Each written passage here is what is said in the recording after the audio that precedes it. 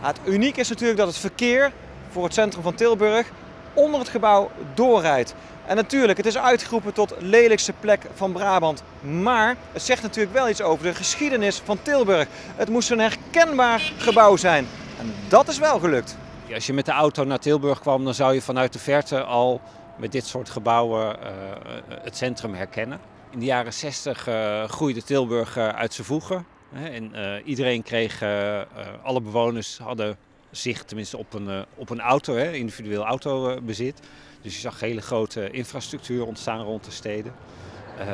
en dat werd met dit soort gebouwen gefaciliteerd. Hè. Daarboven, daar woon ik. Ja.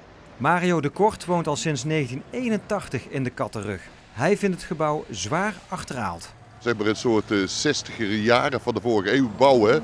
Broek en Baken, maar de grote architect bouwde de grootste dingen zoals een koolsingel. Dat moest Tilburg ook hebben. Hoe reageren mensen als u zegt ik woon in de Kattenrug? Dan uh, woon in de Kattenrug, dan zeggen ze, oh dat is wel een mooi uitzicht. Zeg, dat klopt, dat is een bus. En ook veel lawaai. Ja, inderdaad, van het verkeer, dat gaat niet een keer.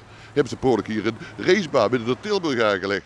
Dat doen we toch niet meer, jongens. Dat is zo, ja, dat is zo jaren 60 van de vorige eeuw. Het is gedateerd, het is geweest. Nou, ik zie dat ze heel druk bezig zijn met opknappen. Ik denk dat dat wel heel hard nodig is. Ik denk dat je dit niet hier in het centrum wil hebben. Nee. Het is eigenlijk een mislukt monument. Dus wat mij betreft, eh, ja, eh, breek het maar af hoor. Ik vind het wel mooi eigenlijk. Ik vond destijds, uh, toen het neergezet is, was het een uniek bouwsel over de weg heen. En volgens mij is dat nog steeds. Ik zou niet zeggen lelijk, een beetje ongezellig. Als ik om me heen kijk, denk ik, is dit het lelijkste gebouw? Uh, daar kan je heel veel discussie over voeren. Maar ik snap wel dat mensen het niet heel mooi vinden.